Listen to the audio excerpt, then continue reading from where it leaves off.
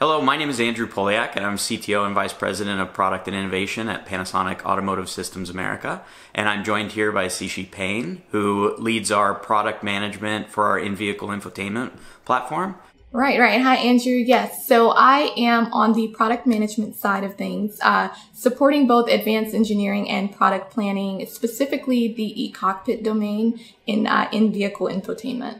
So, Sishi, you've been instrumental in what we've been doing with uh, Google around creating and using our platform as a reference design for Android to be running in an automotive application.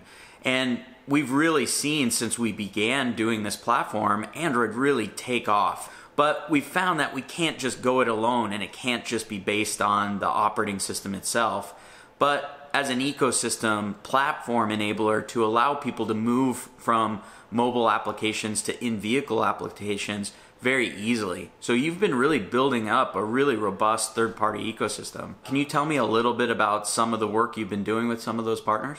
So as you mentioned, a part of our effort is to incorporate the latest technologies into our design and build strategic relationships uh, with various third parties. So one company that we've been working with is Fox Factory, uh, where they've actually developed a digital suspension system, and they're actually using using SkipGen as their uh, IVI platform. So what they're doing, they're actually allowing the end customer to be able to change their suspension settings of the vehicle using the actual IVI. Wow. So what's an example? So it's something like, you know, I'm driving down the road and I go to go off road and it, I can just set my off road setting right from my entertainment system. Right, right. Yeah, directly from your infotainment system, you can actually just set off road or trail road, uh, whichever settings they have available. And another thing that's very interesting is that we do have sensor information that's available as well. So the end customer is actually able to understand the life or, or understand their shock value, anything that's going on with the actual suspension system. Oh, that's great. So maybe it can automatically adjust for, you know, if it starts to sense that the road may be slippery or there may be some other uh, settings that they can optimize the suspension for, it can do it automatically. Correct. That's correct. Oh, that's great. And, and any other any other partners you've been engaged with, or anything else you want to talk about? Yes. So we've also been engaged with uh, SiriusXM on our SkipGen platform. Both are SkipGen 1 and SkipGen 2. Now on our SkipGen 2, we're actually working closely with SiriusXM on their 360L, which is their latest uh, generation of their uh, SiriusXM uh, module. And with that, the actual customer is able to remain connected uh, to the IP radio. Say, for instance, if they lose coverage where they are, they're actually able to continue listening to their channels and not lose any information. Uh, was there any other radio type applications that you've been working with? Uh, we've also been working with Xperi on our latest Skip Gen, which is our Skip Gen 2, uh, for the HD radio. So that has been uh, some really good incorporated activity both within Xperi and Panasonic. Yeah, I think we we've really engaged that ecosystem and I've watched all these applications and the amount we can show OEMs to really jumpstart and accelerate their development where they're not spending you know months or years and countless amount of dollars to get some of these applications running and it's ready to go to shorten their development time cycles to increase kind of their user experience and I think it's been great. Yeah, so I do want to know, uh, Andrew, when it comes to these safety elements, we mentioned SPYDR, where we have multiple operating systems running simultaneously. So I do want to understand more about our safety elements when we're lo- looking into hypervisors or ways to actually accomplish that. Yeah, you're right. Um, you know, one of the big changes, Android's dominating the infotainment space, but the class of processing power being used for these uh, these products in the in vehicle environment has grown so large that it can start doing uh, encapsulating and up integrating other vehicle functions. So we're seeing the emergence of these cockpit domain controllers that will add the the the brains for not only the infotainment but passenger displays, gaming, uh, interior rear view monitoring systems that can bring up live video feeds on the the mirror uh, cluster integration. It already had backup camera integration, but having other sensors that feed right into the infotainment. So what we're what we're seeing in that realm is that you'll get into an environment that will have mixed criticality, meaning you have core items that require safety certification, blended in the exact same system as items that will have more entertainment functions and applications that you use more for entertainment than safety. So there'll be a requirement to merge these systems and not lose track of the safety, the security, making sure that it's uh, not susceptible to viruses or potential uh, threats and attacks. So what we've done is we've worked closely with our partner Open Synergy, who has developed a technology that's called a hypervisor. And a hypervisor allows you to run multiple operating systems at the same time on a single chip. And those operating systems can have uh, real time performance and capabilities that are required in these safety systems. So, to make it easy, if you think about an instrument cluster, when you put the vehicle in park and you see that P on your cluster, you need to know that it rendered that properly and it is indicating that the vehicle is actually in park before you let off your, your brake. And that's exactly the type of systems you have to find and develop in such a way that there's redundancy and safety and there's independent uh, audits of those safety mechanisms to make sure that it's qualified as safe. So they have something in automotive called automotive safety integrity level, and typically that level is level B to make sure that those telltales warn you if there's ever a misrendering or uh, a misindication that you're in park or the turn indicator's on when in actuality it isn't. So, and we've enabled that in such a way that we've also pre built that technology to collaborate and work directly with Android.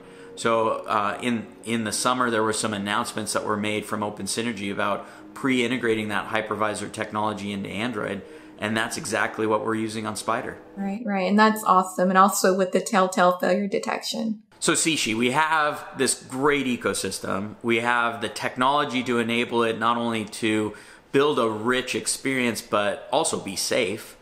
But what do you think? You know, how do you envision what the cabin of the future is going to look like? What's my car going to be like in 2024, 2025, maybe sooner?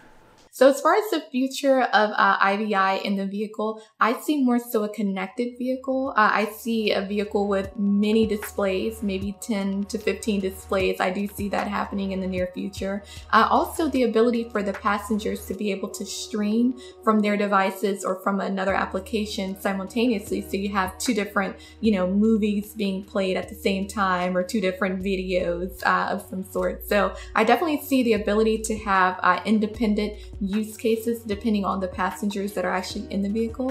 Um, I also see the ability to actually connect with other vehicles uh, that are, you know, outside from your vehicle. So I do see that being available uh, in the near future as well. Awesome. Yeah. When you said those uh, 11 or 12 or 15 displays, some people might think, oh, how will you put all these displays in it? And then I started thinking about what are examples. So, uh, you know, we already talked about the IVI and then also the instrument cluster but the head up display that may be uh, projected as augmented reality on your windshield, or that same AR could be uh, pushed onto your side windows that you can have kids interacting with the environment, knowing what's going on. Um, you know, maybe transparent. One thing that I, I hate is when I come to a stop sign and maybe somebody's in that blind spot of what's called the A pillar, that that uh, portion of your vehicle that's blocked off for the the metal that safely reinforces it um, maybe a display in there that can all of a sudden give you visibility of what's behind that A pillar, backup cameras that may be pushed into the um, the rear view mirror, so it's not just a mirror; it's a smart mirror.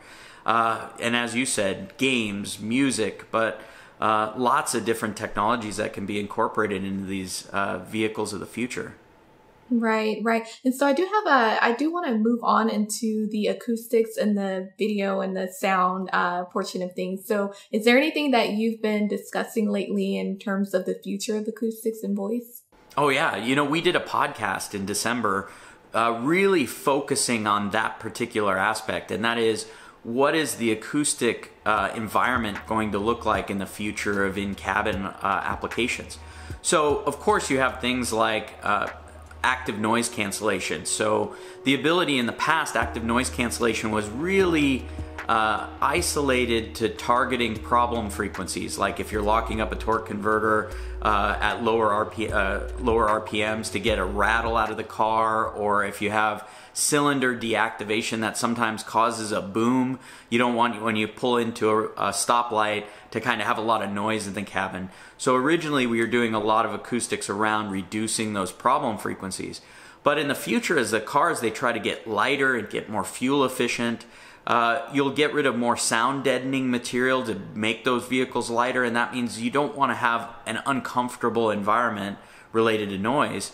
So we start doing active noise cancellation that removes road noises, whether it's different types of roads that you may be driving over, or if it's just outside sound or wind noise that may be coming, whether it's in a convertible or not, all the way to these sound bubbles where you'll be watching a movie or interacting with an assistant and the person sitting next to you won't hear that content. They'll just hear their own isolated sound zone of, of audio. So really acoustics is an area that's going, uh, it's getting a lot of development, a lot of activity, and we're really leading that charge. So I really think the vehicle interior of the future and the cabin of the future is going to be really exciting.